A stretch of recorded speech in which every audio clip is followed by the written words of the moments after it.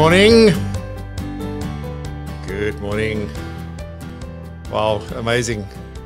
Amazing, amazing. What a morning this morning. Sure. Um, you know, I don't know. Then it's extremely cold. Then it is just, it's okay to get up.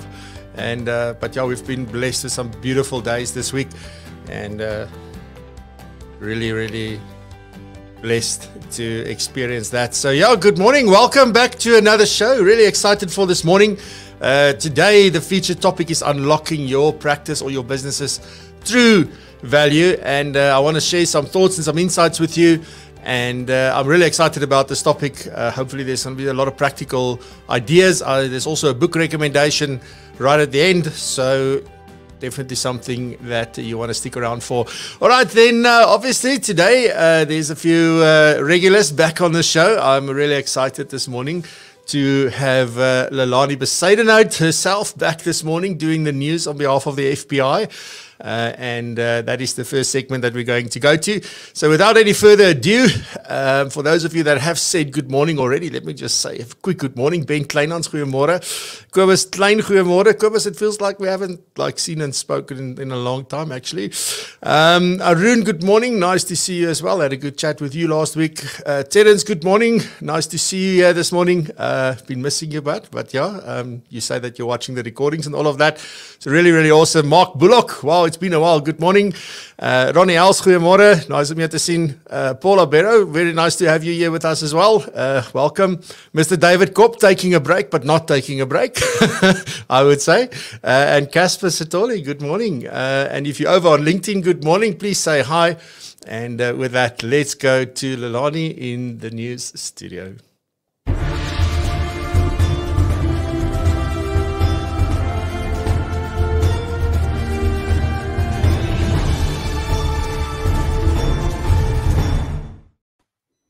Good morning, Francois. It's wonderful to be back on this beautiful Friday morning. Um, I see somebody in Cape Town said it's six degrees in Cape Town. I'm very sorry about that. We are seven degrees in Centurion at the moment, or if Afrikaans, it's Centurion. Um, but yeah, that's a bit strange. But good morning, everybody. I've got one or two stories for you to share. Um, it's mostly around the Financial Sector Conduct Authority. Now, something very interesting that came out, at, I think it was on Monday, the 5th of July, where the FSCA said it has come come to the attention of the Financial Sector Conduct Authority, in other words, the FSCA, that as a result of the lockdown regulations imposed due to the COVID pandemic, there are financial services providers who use electronic signatures of clients when rendering financial services with or without their consent. So when I started reading this, I thought, oh, you know, it looks like the FSCA is not happy with electronic signatures being used because they start with with or without their consent. But then it goes out, just a reference for those who want to uh, read the full communication. It's the FSCA Communication 12 of 2021, and you will find it on their website. But what they're then saying, the purpose of the communication is to provide guidance to the financial services providers and their representatives uh, regarding the use of electronic signatures in the course of rendering financial services. Now, of course, the definition of financial services in the FAIS Act is financial financial advice and or intermediary services we you we normally forget about that intermediary services now because we're so focused on advice. But this is with regards to the rendering of intermediary services. So if anybody is taking a withdrawal or an advance or an early retirement or a claim so any of those intermediary services that's render it uh, rendering and then the FSCA's views on this practice.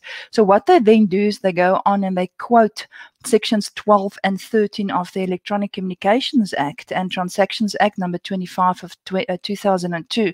And they quote a few sections there with regards to the Electronic Communications and Transactions Act. But then I'm going to jump straight through to the end where they say there's two situations uh, or scenarios that they've looked at uh, where the client is the originator of the signature and then where the FSP, the financial services provider, uses the electronic signature on behalf of the client. So what they are saying, if you look, if you read at the conclusion at the end of this document, I wish I had more time, but I'll I'll just get to the conclusion of the document. The FSA is saying, you know what, the financial services conduct is not opposed, and this is where we'd like, phew, you know, hopefully the FSA is not saying, you know, in the midst of level four, jump in your car and go to your client, wear your mask, uh, sanitize, you know, and uh, no, that's not what they're saying. They are saying the FSA is not opposed to the use of electronic signatures by clients to conclude and uh, and agree um, any products or anything with a product supplier. But where the problem comes in, and and I sort of have to agree with them, they are concerned that the use of electronic signatures of the clients by financial services providers has the potential to expose clients to the risk of fraud, forgery, or theft of client assets that would arise from the possible unauthorized, and this is the key word, unauthorized transactions entered into on their behalf.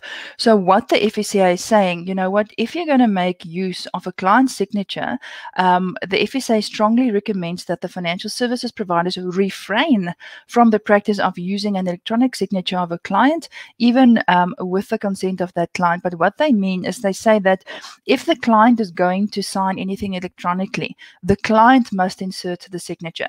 Even if the client gave you a letter to say, you know what, Lilani, it's okay, here's a copy of my electronic signature that you can keep on file and just sign the documents when I telephonically tell you to do it. They say no.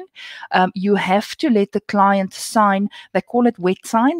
They have to wet sign. You can do it electronically every time themselves. So, so you forward the document, your client from the financial service provider to your client, and they put the signature on. You cannot keep the signature on file on their behalf and insert it. And I agree with that because it will give um, rise to some fraudulent claims. Then, just very quickly, the Financial Services Conduct Authority's newsletter came out last night, and I'm very excited to share with you just the headings of some of what is in the um, newsletter because we, we, we, don't have much time. They talk about the conduct standards for banks and how that has um, elevated the fair treatment of customers. Then they talk, of course, about crypto assets. We've um, chatted about this on your show um, quite a few times and the regulation of that. And then the Ombuds Council. Just something very quick on that. In my meeting with Muvhango, that's the pension funds adjudicator, she said to me, Lilani, we, we part, but we're not really part of the Ombud Council. And I see what she means if I look at the organogram. So just for those who don't know, the Ombud Council is in full swing um, and it's put in place now. And um, Eileen Meyer is actually now the chief Ombud Council, uh, the chief Ombud for the Ombud Council. I think that's quite a fancy title. You are the chief ombud on the Ombud Council. Then on that council, you have a few Diane Wood, uh, Advocate Dikeledi um, Chabedi, Emmanuel Lekgau. Then we have Adam, and then we have um, Adam Harovich and Shamaine Subramani, and then Ka- Kathleen. Catherine Gibson is then replaced with Unati, which we know is the new commissioner. So if you look at the pension funds adjudicator and the FAIS ombud, they do have a reporting line into the Ombud Council and the chief ombud. But because they're statutory ombudsman schemes, they obviously still report into the Minister of Finance, which makes sense. So the PFA, Muvhango and Advocate Nonku will still report into the FAIS, uh, into the Minister of Finance.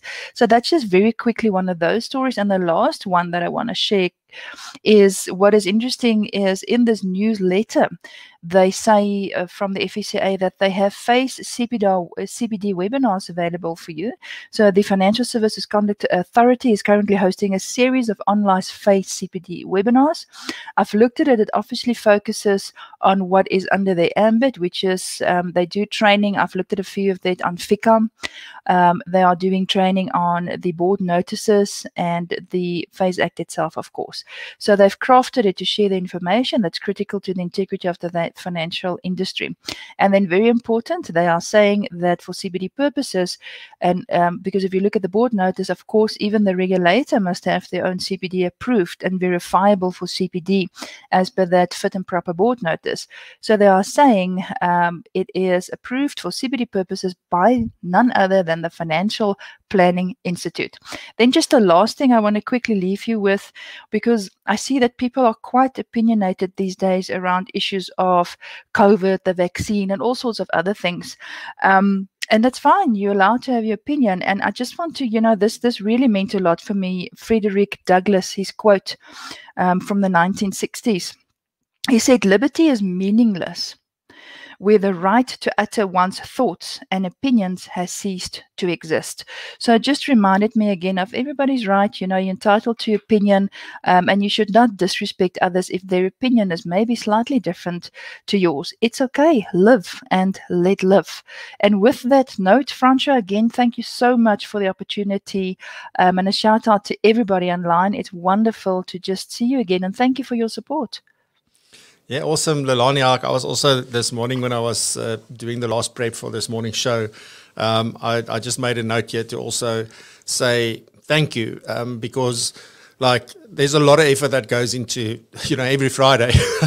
I laughed after the after the conference. Um, I sent David a message because I wasn't feeling well at the time and I was obviously tired after the conference, so we took a break.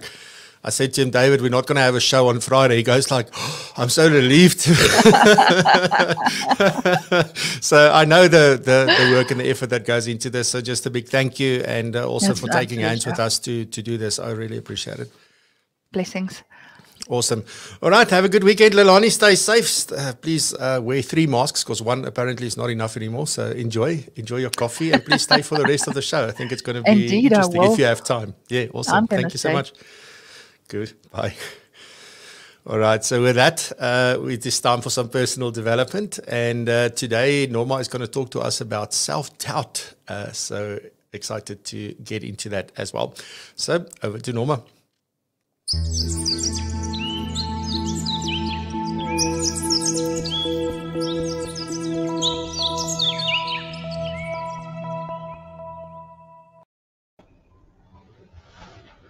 Good morning. Uh, glad to be back today. Um, sure, there goes my headphones.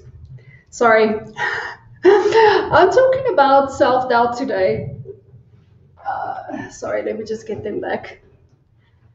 I'm talking about self doubt today.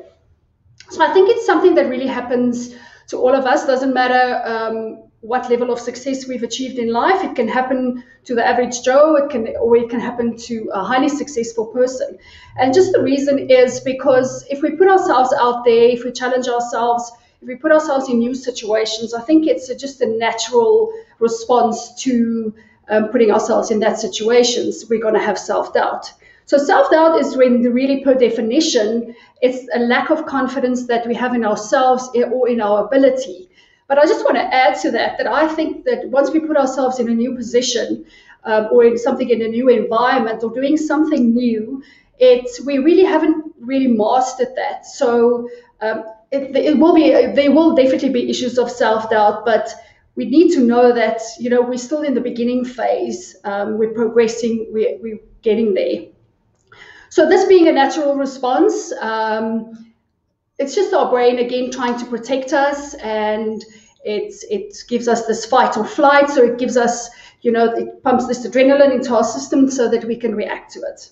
So I just think a healthy dose of, of self-doubt is, is, you know, is quite good for us because it just indicates that we understand that we need to improve in a certain area just to be better at our job, for instance.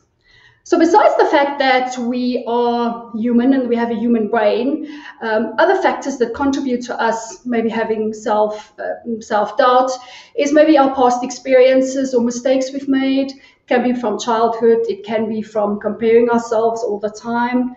Um, it might be, like I said, putting ourselves out there and doing something new. It can also be fear of failure we might have, or uh, the price that we have to pay um, when we get to success. So just a couple of ways that I think um, that we can maybe think differently about self-doubt, um, and that can maybe just free us a little bit of this thing that uh, we call self-doubt and we think is this huge monster sometimes. So the first way is really to embrace self-doubt. So that really anything that we resist will persist. So if we try and avoid it, meaning we're distracting ourselves, or we're trying to totally eliminate it, saying, for instance, that, you know, i am just going to be working harder. Um, so I don't feel the self-doubt, or I think it's it's it's um, I'm not going to feel it at that point. Um, instead of doing that, we can really just embrace it.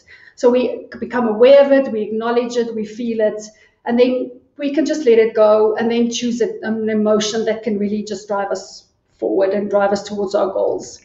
Another thing is we can really be skeptical of our thoughts sometimes because we have 60,000 thoughts a day and not all of it is going to be helpful. So there's helpful and there's unhelpful thoughts. And we, um, the helpful thoughts is really those that, you know, I have a new business idea or I have to remember that I have a client meeting later.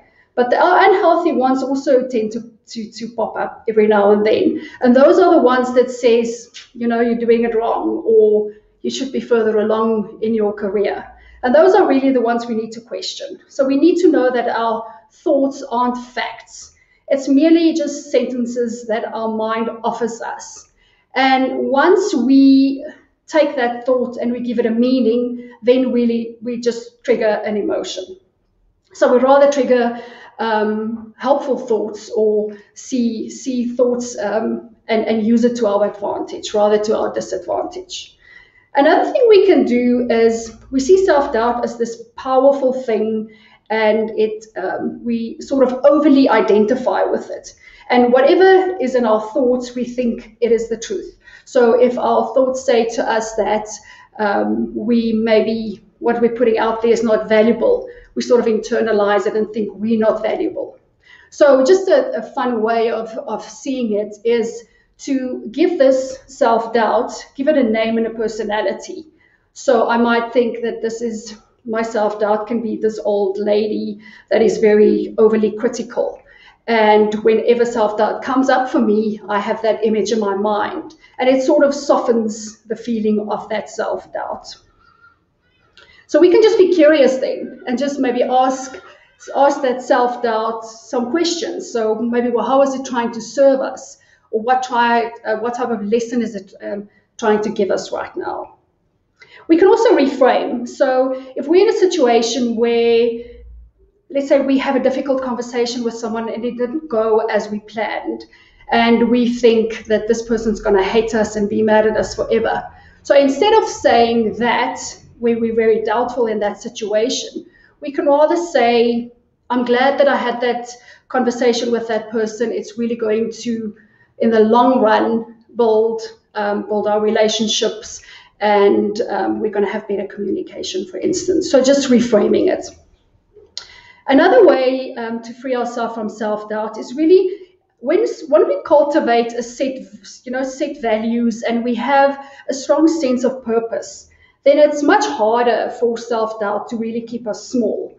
So, if I, for instance, have this amazing message that I want to get out into the world, then it's very unlikely that um, self doubt will keep me small. So, I would definitely then get up on that stage and talk to a thousand people just to get my message out, message out there. So, it just shows you in this situation that our higher purpose sort of take priority above self doubt. And then lastly, just to have self compassion. So, um, not to shame ourselves for having self doubt because we already um, lack the confidence. Um, to top that up with shame about you know why we're feeling it, it, it uh, the, it's wrong for us to feel that way. We can rather approach it as we would approach a friend, which is maybe in that same situation. So having compassion and supporting supporting that friend, and then obviously taking that advice for yourself. So I want to leave you with this. It's just an analogy that I thought um, you know could help um, to remind you of exactly what self doubt, how it can help you.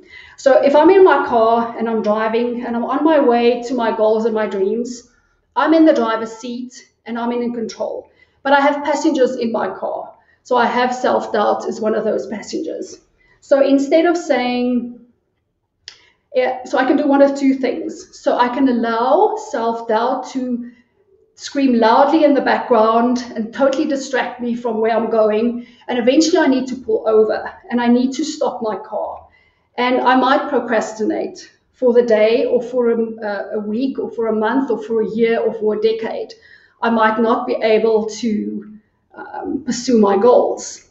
Uh, or I can take the alternative route, which is I can allow self doubt to be in the background, I can listen to it, and I can give it the necessary attention. But my eyes are focused on my goal and I'm moving forward despite of what self-doubt has to say sort of in the back of the car. So I hope this was helpful for you. Um, thank you for listening and I'll talk to you again next week. Awesome stuff, Norma. Um, it is amazing to sort of see, you know, like I love how you just stay calm when things fall out, and they like you are so focused on on the thing. And uh, well done. It's uh, it's also amazing for me, like because we don't we never coordinate. So whether it's the FBI or whether it's Norma or somebody doing another segment on the show, I never coordinate and communicate my topic to them before the time. Like they, each of them run their own segment. They decide what they want to talk about, um, and and all of that. And it's amazing how what you just spoken about today is going to fit perfectly into what I'm going to talk about now um, about unlocking value in your business. Because self doubt is one of those those killers in business, I, I would say. And the also the other thing that I always appreciate about the things that you share is how you turn it around. Of like, how can I use it to my advantage? Instead of to my detriment. So so well done uh, and amazing. And also thanks to you. Like I know, like every Wednesday, like I get the layout of what you're going to talk about, what the things are, and um, you know, you, you also put a lot of effort into into preparation. And just thank you to you as well. Uh, really appreciate that. Wow, thank you. Thanks so much for the feedback. Good stuff. So have a good weekend, and we'll catch you next week. Great, thank you. Thanks to everyone. Awesome. Bye. Cheers, Norms. Bye. All right, so uh, before I get into the featured topic, there's a couple of things that uh, I need to to share with you just very very quickly, and uh, let me just uh, make sure that everything is fine here on the screens. Um, so yeah, so the first thing is that uh, on next week Tuesday evening at 6 p.m.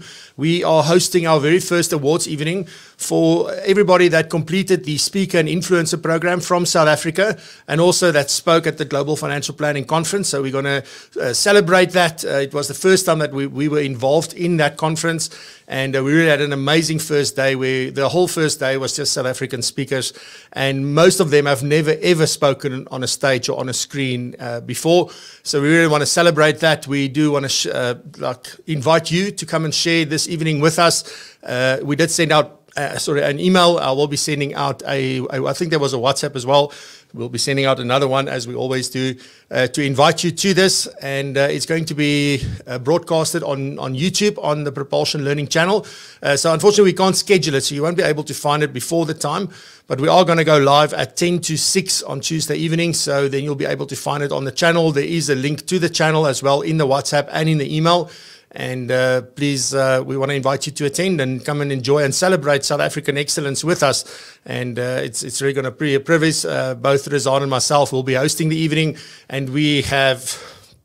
Let me just think quickly, uh, and and everybody that went through it. I think there's two people that have not that are not able to make it uh, that went through this program and that that spoke at the conference. But then also we are going to have live Dominic Colenso and Nick Elston will also be joining us live. So really excited about that. And uh, so don't miss this evening. It's going to be very valuable because we're not only doing awards, there's also some interesting insights and things we're going to share and some tips and tricks we want to give that you can also benefit from. So please come and join us for that. Then our next CPD live event uh, will probably be, it was supposed to be next week, uh, but it's just been crazy. So it'll probably be the week after that. Uh, but we will be sending out uh, the information for that. It'll be on uh, the tech versus the human. Uh, that's what it's going to be about. Um, so, so look out for that. And then on Monday, our our second part of the LinkedIn 10 day challenge is starting. Uh, you didn't have to do the first part. You could just sign up for for the second part. Propulsion Pro members just they just participate. there's no cost for Propulsion Pro members. So if you want to get into this challenge and many others, uh, then please consider joining Propulsion Pro. All the information at the link below. So uh, it'll be great to have you become part of this amazing community. Uh, so please look out for that. Uh, but yeah, on Monday, the 10 day LinkedIn challenge is starting, and we're focusing on strategy, engagement, and growing your network, building your brand. And in 10 days, we break it down. At the end of that, you're going to have a very practical, implementable strategy uh, to take forward on, on LinkedIn. So, with that mouthful, let me uh, head on over then to the feature topic, which is this morning unlocking your practices through value.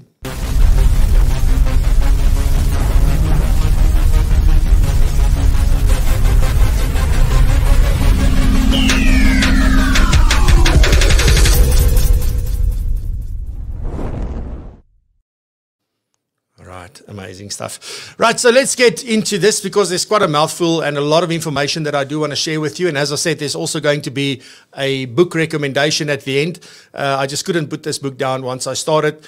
It really like opened my mind and it actually literally removed the glass ceiling that I've been bumping my head against now for the last couple of years. And uh, it, it, really changed my mindset. So there's a few things that I do want to share with you uh, around this and the amazing things that's possible actually in your business. But like I always do, it's like I need to set the scene and I want to ask you some questions that you need to consider. So if you have something to write with um, or, or, that, or obviously you can come back and watch the recording of this as well. And if you are watching the recording, welcome. Awesome to, to have you here.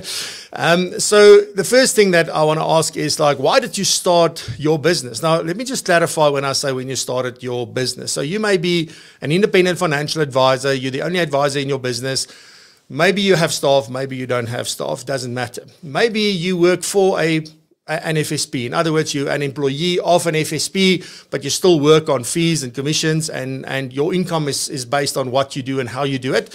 And again, you can have the same setup within that FSP for your practice. So that's sort of the distinction I always make between when I talk about a business, you are the owner of the FSP, be it only yourself uh, or whether you have multiple advisors. And then the practice is just maybe it's it's when you work for an FSP, so you're not the owner of the FSP, be it a product provider or an independent FSP or a bank, doesn't matter.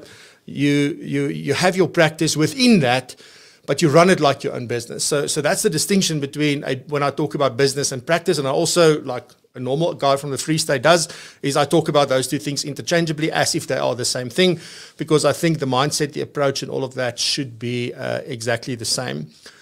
So my question again is like, why did you start your business, or why did you start your your practice? Why did you why did you go into this line of business, um, into this industry, into this profession? Like, what made you do that? And what is the main aim? What are you trying to to to achieve? Is it just so that you can have a certain lifestyle, and that is sort of the focus? That obviously, because your business and your practice will enable a certain kind of lifestyle and if you're after a certain lifestyle, this is probably uh, the, the place where you can achieve that. But is that the reason? So once you've achieved living or creating or designing that specific lifestyle, is that enough? Is that all you wanted? You want kind of a lifestyle business? Maybe um, you know you you're very focused on on balance of life, for example, which we all should be. And uh, as soon as you've achieved that, then then that's sort of enough. Uh, there, there, there's no bigger picture there. It's not a part of your retirement plan. So, or, or, or, is it? So, so is your business or your practice is that part of? Is it a big part of your retirement plan?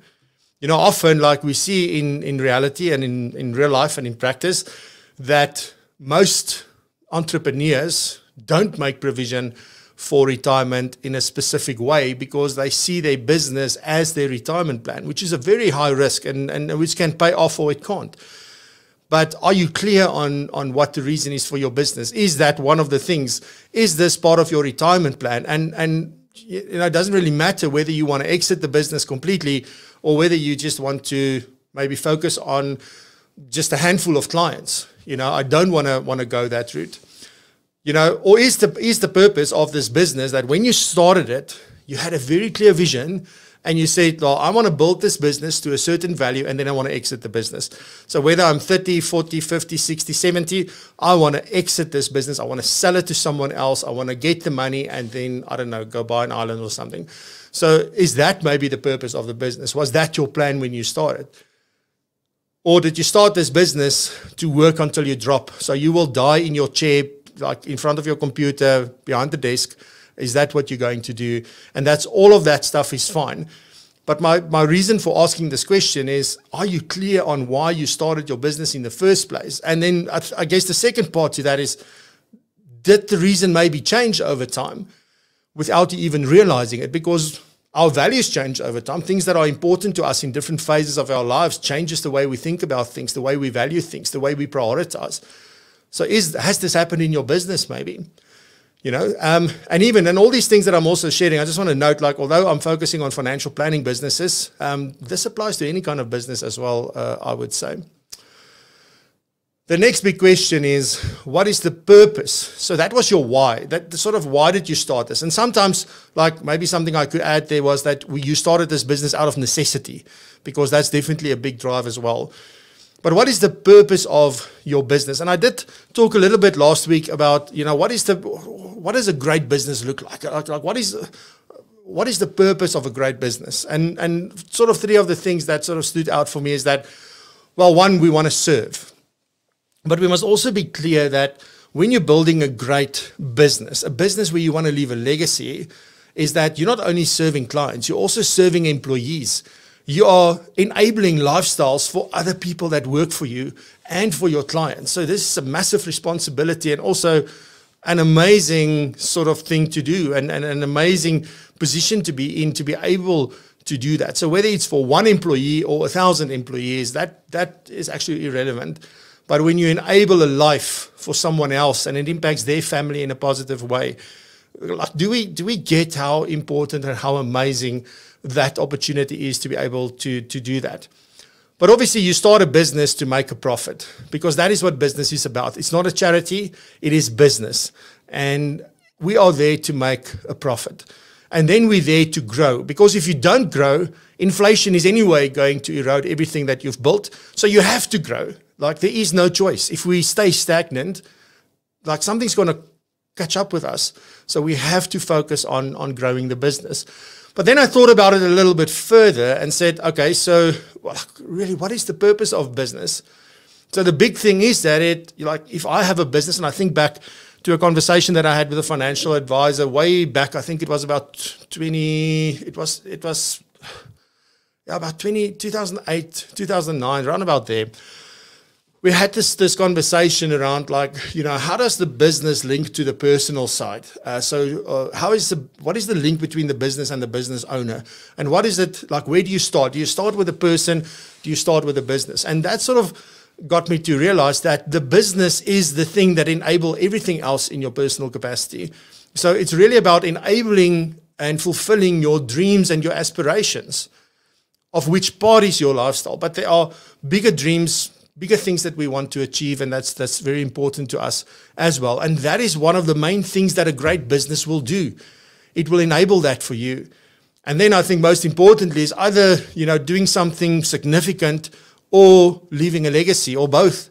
Um, and that is what a, what a great business can do um, and that's why I said, you know what, like if you, if we serve employees, we serve clients, and we make a tangible difference in their lives, regardless of the type of business you're in, or regardless what part of the financial planning profession you focus on, it is something that we really need to consider and to say, well, if that is what I want to do, maybe you're not not leaving a legacy at the moment. Maybe you're not having that impact. Maybe you're not enabling your your dreams and your aspirations. Maybe you're not enabling the the dreams and aspirations of your employees and your clients but you can. So, what is the plan? Um, that that is sort of the the big question there. My next question is, uh, what is important for you in business, um, and, and and maybe most important to you? Uh, you know, like a lot of, at, specifically if it's a smaller business, and and I've had this mindset now for a very long time, where I just, you know, it's about maximizing profits for me in my personal capacity. In other words, I want to pay as little tax as possible. I want to keep my expenses as low as possible. And I'm not leaving any money in my business uh, because if I do, uh, I need to pay tax on dividends and things like that when I do want to get money out. So, uh, you know, and, and, often if you look at your effective rate, it's much better. And we've spoken about this in our business assurance uh, programs and the um, refreshers and things like that that you look at an effective tax rate of 42.4%, uh, I think, is the is the effective tax rate. Like if you left money in your business and you, you left the profit in your business versus pulling it out as a salary and then paying less tax because like we pay pay, pay tax on a tiered basis in our personal capacity. So it would make sense. Again, it's one of those big lessons where you look at the theory, you look at the uh, sort of what the um, the academic things are that we learn about tax and that and then you think about how do I apply it in practice? Well, let's apply it like that. And it seems to work because I do pay less tax because I take uh, more of a salary out of the business uh, than, than rather leaving it there and then having to pay tax. And then later on, if I want the money, I need to pay a further 20% on the amount that I'm taking out as dividends. So I, that's maybe one of the things that's most important to you is just I just want to minimize tax. I want to get as much out of this as possible for my own personal benefit. Are you hoarding cash in your business? Is that the other thing? So that's almost the opposite. So you don't take anything out of your business. You just let it, you just leave it there and you don't touch it.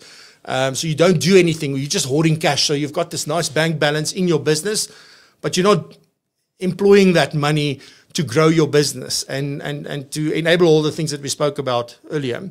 So maybe that's another thing that, that's important to you. Then continuously searching for new opportunities and untapped markets. You know, maybe that's most important to you. So you're forever looking for where's the next opportunity? Where's the next client? You know, how can I grow my business? How can I expand? And all the only thing that you focus on is growing the business. So growing the client base, growing the income, growing the revenue. But that is that is the sole focus. Uh, maybe that is that is most important. Or maybe specifically if you've been around for, for, for quite a while, um, you may have reached a certain point where you have now realized that lifestyle. You've now come to that point where, you know what, I put in a lot of sweat, blood, and tears. So now all I'm going to do now is maintain and retain.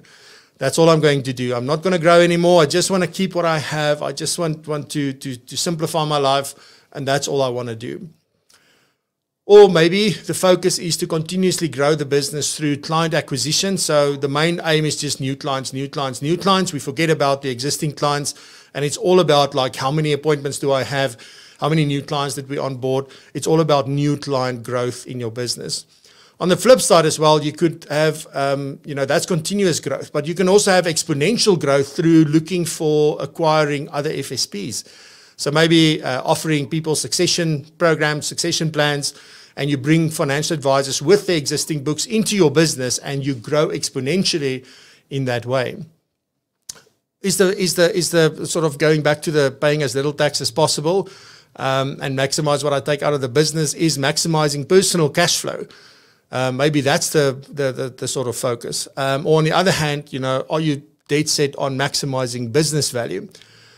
So yeah, that's a mouthful. I think there's a lot of questions there, and I'm I'm running through them uh, maybe quite quickly, but definitely something that needs to be uh, considered. Like, what is important for you in business? Apart from, I'm not talking about ethics and you know doing the right thing and helping the client and focus. I'm not talking about those things. I'm talking about building your business. Like, what is most important for you in your business? So, so this is not really about how you do your business. This is the what. What is important to you, and possibly linking why this is important to you would, would be the next step. But that's definitely something that uh, needs to be uh, sort of considered. Then um, there's a few mistakes, and, and, and I've made plenty of these mistakes. So I thought before I share how we can maximize the value of our businesses, let me maybe share, you know, mistakes that destroy value. Um, you know, because specifically if you're looking at selling your business, or maybe you want to bring in partners, or maybe you want to raise capital, because we're all building different types of businesses, and that's the one thing that we need to be clear on is like, what type of business do you want to build? It's not so much about how much money do you want to make and how much, you know, like how big do you want to go? This is just like, what type of business do you want to build? Is it just a small business or do you really want to build this into a national business or even a cross border business where you have several financial advisors that advise clients, help clients, serve clients, uh, no matter where they are in the world. So, so that's as big as you can as you can go. Uh, but that's up to you. And there's no like preferred way. It is what works for you. It, it's what fits with your personality. It's what fits with how much stress you can handle. Um, so there's a lot of, of, of that that we need to consider. Excuse me. So, um, which things really destroy business value? And, and this is so important for me. And, and maybe you'll, you'll be surprised and maybe you won't be about where does this start? And I just realized that it starts with an inappropriate mindset. If your mindset isn't right, if it's, and this is where the self doubt and all those things sort of link in that Norma was talking about, is if your mindset isn't right, if you're not, if there's no vision, if there's no plan, um, so those three things go together. You need the right mindset, you need a vision, you need a plan. Uh, if you don't have that, then you will just stay where you are. Uh, and if that's what you want, that's okay. But if that is not what you want, and you've you've been wondering why am I not growing? Why am I really battling to break through to the next level? It's possibly if we if you really sit and analyze it deeply that it starts with our mindsets. It's having an inappropriate mindset. So you want to do something, but in the back of your mind, you're telling yourself, like, oh, I can't do that. I won't be able to achieve this. This is impossible. I'm sitting in a small town. I'm, I'm, you know, there's too much competition in the city. There's like all these reasons that sort of fuels the self-doubt and fear that, uh, you know, you, you, you, you won't be able to reach it. And maybe one of the other things you're thinking in the back of your mind is that, but what if I do make it? What if I lose everything? Then what? You know, what happens then? Like, will I be able to do it again? Do I even know how I got here? Do I even know, like, how did I, why was I able to achieve this in the first place? Can I replicate it? And those are all the things that then just goes in this malamela, like, you know, over and over and over. The other thing uh, that destroys value is minimizing profit, and which is something that I've now done for the last couple of years is take out, like, I leave a very small amount of profit in my company. The rest of it I would pay out as a salary and uh, pay the tax on that. And it was fine because my business is not that big. Um, it makes sense that I would do that. And then, you know, it's about maximizing sort of after tax profits. And that is one way to do it. But that is not the right way, I realized. Um, to, to actually build a business with value and build a business with purpose, you need money in that business. You need to keep the profit there. And uh, it's, it's really important. But I'll get to how to maximize the value of your business in a second.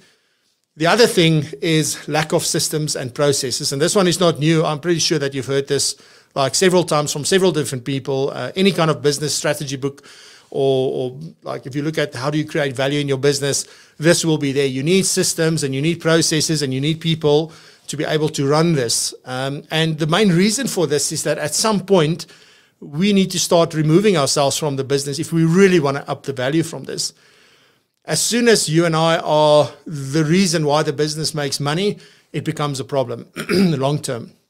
Unless that is all you want. So you're not you don't care about selling the business, you don't care about getting anything out at the end. You're making provision for retirement in another way. So in that case, it wouldn't matter to you. But if if if your business is a big part of your your retirement plan, for example, um, and for leaving a legacy and making sure that this thing continues way beyond your life, then it is extremely important that that we consider that. Then having the business depend on you, as I just said, um, you know, if you and I are the central point, the reason the business exists, the reason the business makes money, like if you and I are not there, the business is not making money, then long term, it's not going to create value in your business. It will be able to generate an income to enable your lifestyle, but you won't be building something of significant value. And then the other thing is obviously if you have a business with volatile cash flow. So there's no, you can't predict the cash flow. It's up and down, up and down, up and down. And then there's money. And then for months there's no money. And then there's money. And then there's no money. And you need to do it like that. But you, there's no trend. You don't know. Sometimes there's not, there's no money coming in for a month. Sometimes there's not money coming in for six months. You know, sometimes there's a lot of money coming in in January. Sometimes there's not. So volatile cash flow is something that really, really kills any kind of business's value because it's unpredictable.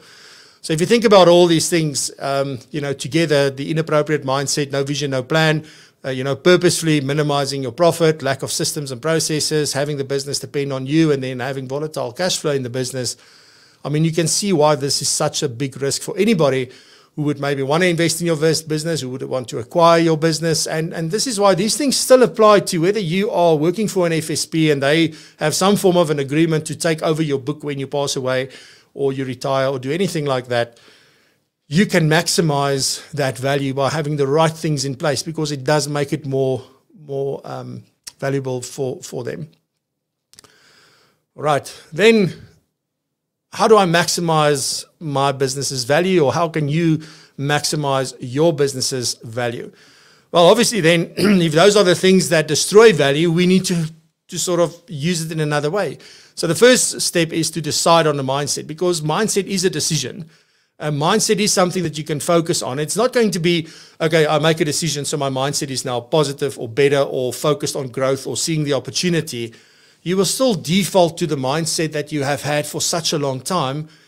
But if you are aware that you want to have a different mindset, you can stop yourself and say, no, no, no, that's not how we think. We think in this way now. And that's the important part about that. But then once you've decided on the mindset, like what is really possible, like removing that glass ceiling, as I just shared with you what I've done um, recently, and it's really amazing. Like suddenly you are thinking in a totally different on a on a total different level. You're seeing things that you never saw before. It, it's really an amazing place to to to be. But then what you need to do is to sort of say, well, what do I want to achieve long term? And what I did uh, specifically is to say, listen, so this is my retirement plan, right? Um, because for years I've been building this business and doing the things that destroy value instead of creating value. So I haven't built up much value in, in, in my business as such at this point in time.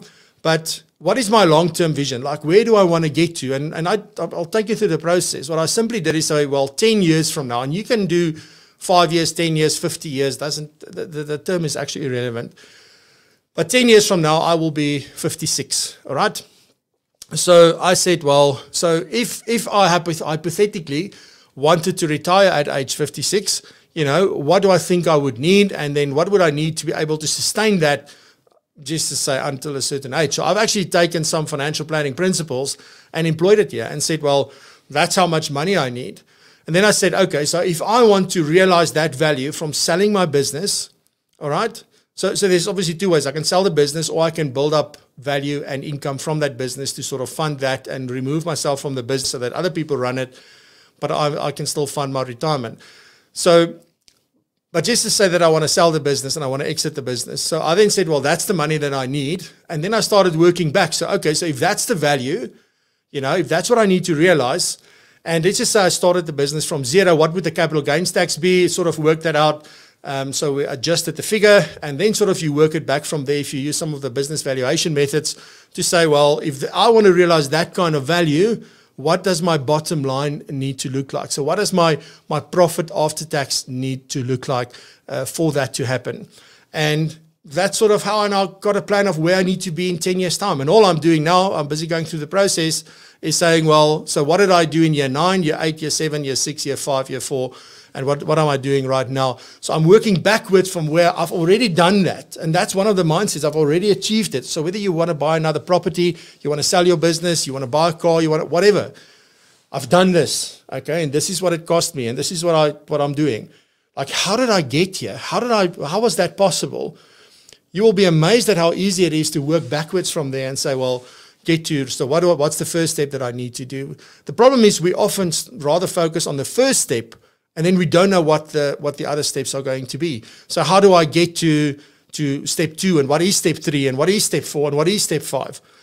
I don't know because I'm I'm, I'm still here. I can't even see there. But if I start 10 and I'm walking backwards, you remember that that thing about like, you know, hindsight is 2020 vision. So it's easier to look back from from there and say, well, what did I do? And it's not to say that we'll get it uh, like spot on and 100% correct, but you're going to have a very clear plan of how to get there. So, uh, so that's sort of that that first step that that you need to do. Um, then there's three hats that you need to wear, and this is a massive. Like I had this discussion with Wessel Oosthuizen uh, a few weeks ago, and that sort of blew my mind. And then the book recommendation that I'm going to give you, this guy was also speaking about exactly the same thing but it's wearing the three hats. And for me, there's three hats. There's an employee hat. So this is where you do the job of financial advisor, financial planner, financial coach, whatever it is that, that, that, that you offer. But it's doing the job, uh, rendering the services, selling the products. Whatever it is that you're doing in your business to generate income, it's that. Okay. Then the second hat would be that of the CEO. So the CEO is on a totally different level uh, than the um, than than the employee, obviously, and they can because they they sort of sitting higher in the hierarchy. Hopefully, they can see more of the business. They can sort of see what's coming. Uh, they're not in the trenches, so you have to take off the employee hat and put on the CEO hat and say, well, you know, what needs to happen? What is the strategy? How do we realize what we want to do? But the hat where you actually need to start is the hat of the shareholder. And that's the thing when we have a small business that we never really do you don't think about it from a shareholder perspective. If if you did not work in this business, you were not the CEO of the business, all you did was investing in this business. What would you want? How would you want this business to grow?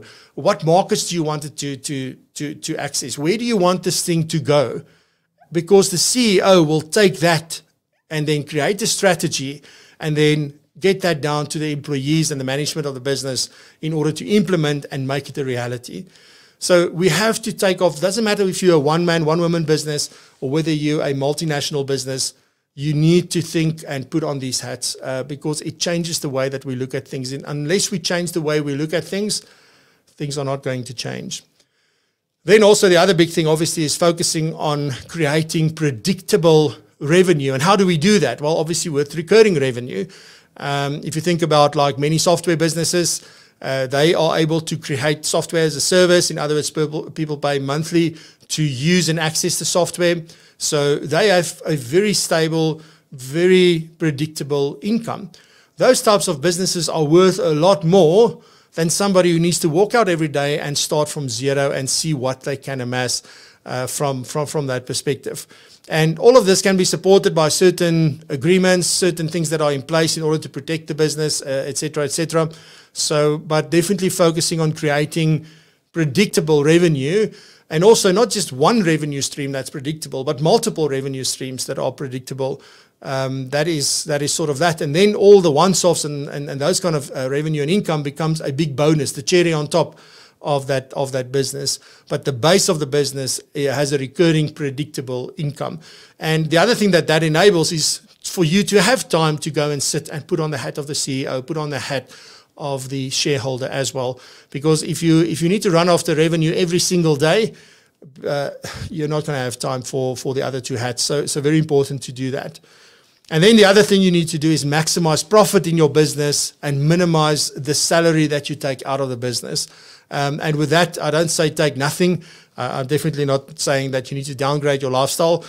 What I am saying is take the least amount of salary and rather take dividends maybe at the end. Specifically, if you're thinking about bringing on partners into your business, if you're thinking about maybe raising capital for your business, maybe there's those kind of things that you want to do that would then necessitate that you maximize the value. Because if you're selling the business, I mean, the next person will take over your salary, so so you can just count that back.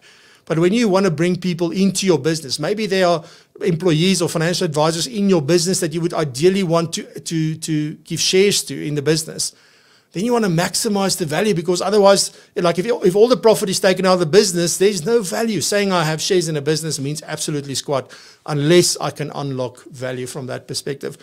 So that is uh, extremely uh, important and extremely uh, valuable. All right. So before I give you the book, let me quickly run over to the uh, to the comments and see.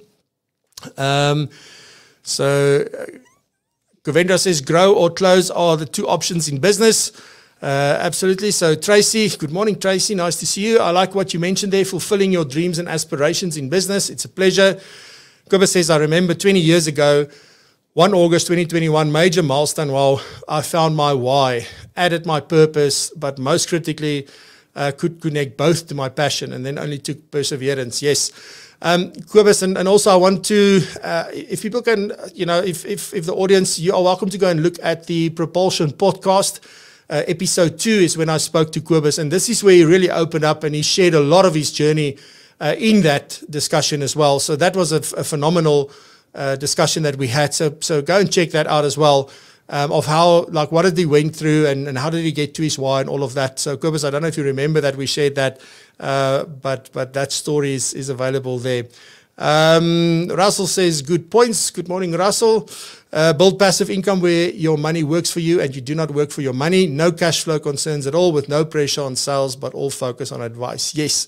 And, and I think you make a very important point there, Kobus, because like as long as the focus needs to be generating new revenue every day, every week, every month, it does sort of blur that line between you know what's good for the client what's good for you. And there's a there's a period of time that one can really just focus but as soon as i need to pay my car i need to pay this then the focus starts to shift a little bit. It's not to say that now you're not um, you know uh, you're not doing things in the best interest of the client but it does make it significantly harder in order to do that. And and that's the thing. So the sooner you can get to that predictable revenue that recurring revenue that passive income then the better you and your clients and your business will be. So it's an extremely valuable, valuable thing there. Mr. TT, love the work backwards approach. It is so effective. Absolutely awesome topic. Thanks, Mark. Uh, Russell, good book recommendation. I'd, I'd also recommend uh, Sell It Like Serhant by Ryan Serhant. Like uh, us, even though he's in real estate, he explains. So let me just also say there, um, I believe that there's lots that we can learn from how people do business in other industries. There's a lot of value in that. Um, you know, just listening to how other financial advisors and planners built their business, a lot of value because we understand, we speak the same language. But looking at other places, and, and you'll remember maybe me saying in one of the episodes that one of the big things that we need to realize is that what consumers will be demanding in financial services – will not come from financial services or the lack of things in financial services. It will come from what they experience in other industries. And they say, but like, why can't my financial advisor do this? Why can't my bank do this? That's where the innovation is going to come from. And that's where the consumer demand is going to come from. It's what people are doing in other industries, not necessarily what they are doing in, in, in, in ours. Uh, SaaS is a great way to generate an income stream. Absolutely uh, rugby team, uh, Razan, rugby team has their forwards and backs, and everyone has a function to optimally play the game. Bringing people in in the areas you lack uh, uh, makes for a stronger team. Absolutely. Uh, thanks for that. Uh, says, I remember vividly. yeah, good stuff. Also, remember listening to your first podcast with Andre while in Belize. Nice, nice. Uh, Johan Marie, goeiemorgen, Johan. Uh, he says, very informative. All right, so as promised, the book recommendation is uh, this book. So the, yeah, it's in Afrikaans, but you also get it in, it, it is available in English as well. Uh, so think like a billionaire or dink 'n miljardair and maybe you think like, "Oh, I'm so far from that." When I picked up this book, I couldn't put it down for 2 days and I read this whole thing in 2 days. Um, it's practical, simple examples. It is simple things, and he talks to small business owners. It's not only meant for big businesses, and this is where the mindset started to to to change for me. So go have a look at this. This is uh, Daniel Strauss. Uh, Daniel is married to Rolene Strauss. I don't know who made who famous. So is it the fact that she married him or he married her? So she was the former Miss World and Miss South Africa. Um, so he's also well, he's built a, a big business called Stocks and Strauss. Um, so really coming from a practical perspective, experience, he shares his journey. Uh, as I said, like the stories are amazing. It's an easy to read book. Uh, really, really amazing. Uh, the, the font is nice and nice and big, if you can see there. So it's an easy read. It's not like an academic book. It's really, really an amazing book. So go check it out. Daniel Strauss, uh, think like a billionaire or dink 'n miljardair. So pick your language of choice. But that's my book recommendation. Go get it. really like it's it's an amazing book. It'll open your mind to so many things. Um, and on that note, yes, thank you so much for being with us this morning. I really appreciate it. Thanks to Lelani, thanks to Norma and uh, the FPI uh, for for all the contributions. I really appreciate it, and we'll be back next week, same time, same place. And uh, please join us for the awards evening on Tuesday evening, live at 6 p.m. right here on the YouTube channel. And I look forward to seeing you. So, with that, have a fantastic weekend. Stay safe, and remember, raise the bar.